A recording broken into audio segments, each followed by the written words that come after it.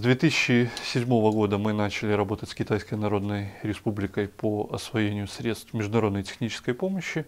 По сути, это безвозмездные ресурсы, которые выделяются в Беларуси. Вот на горизонте 12 лет у нас уже есть 8 завершенных проектов на 125 миллионов долларов.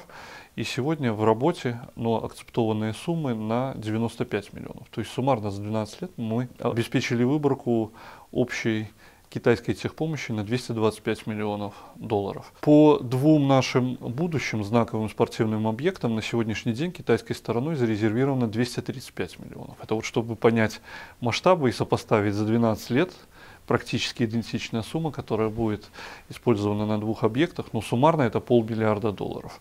По большому счету Китай считает, что эти объекты это будет его лицо в Европе, поэтому они очень серьезно относятся. Это будет действительно знаковое сооружение спортивных аналогов которых не очень много в нашем регионе, поэтому мы надеемся, что все пройдет успешно. С прошлого года в Китае изменилась внутренняя политика в отношении техпомощи. Было создано специальное государственное агентство, оно напрямую подчиняется Госсовету, и вот с такими странами, как наша, взаимодействует в рамках заключенных межправительственных соглашений. Буквально на днях мы получили уже подписанный меморандум, это тоже для Китая рекордные сроки, когда они сумели его сделать, и определены четко очень приоритеты для нашей республики, кроме вот этих спортивных сооружений, которые, понятно, находятся на первом месте, это еще объемы технической помощи, которая будет выделяться нашему индустриальному парку «Великий камень», это а, объемы техпомощи, которые зарезервированы для нашего таможенного и пограничного комитета.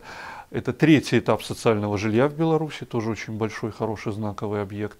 И это ряд других направлений.